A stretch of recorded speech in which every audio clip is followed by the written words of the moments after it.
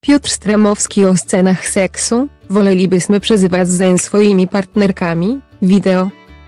Piotr Stramowski wciąż pozostaje jednym z popularniejszych gwiazdorów polskiego kina. W jego artystycznym dorobku znajduje się m.in. wątpliwej jakości dzieła Patryka Wagi. Ostatnia produkcja, w której wystąpił Piotr, jest film Pokusa w reżyserii Marii Sadowskiej.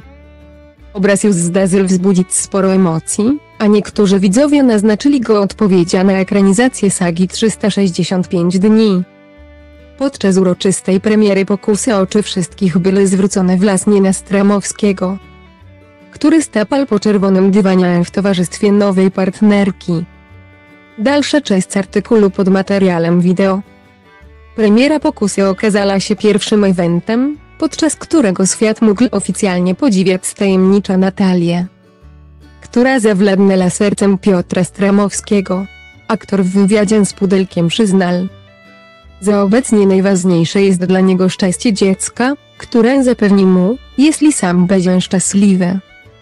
Rozstanie z Katarzyna Warnkę i odnalezienie się w nowej rzeczywistości określił z kolei jako długotrwały proces, który wciąż trwa. Piotr Stramowski zapewnia po medialnym rozstaniu z Katarzyna Warnka, jestem gotowy na nowe, wideo. W związku z tematyką najnowszego filmu Stramowskiego nasz reporter Michał Dziedzic nie mógł pominąć pytań o erotyczne sceny, którym wykorzystywano do promocji pokusy. Piotr przyznał, że nagrywanie takich momentów to jedno z większych aktorskich wyzwań.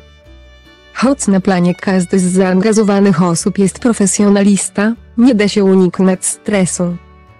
Faktycznie, esa to cieskie sceny, bo dotykamy bardzo intymnych naszych sfer emocjonalnych.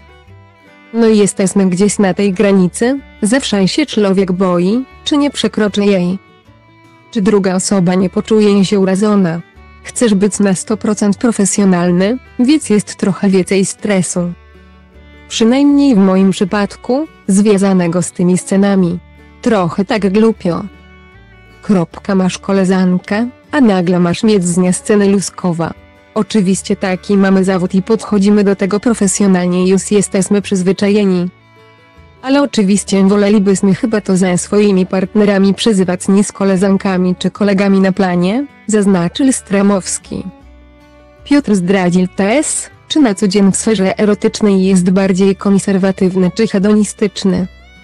Podkreślił przy okazji, że choć ma znajomych, którzy żyją w związkach poligamicznych.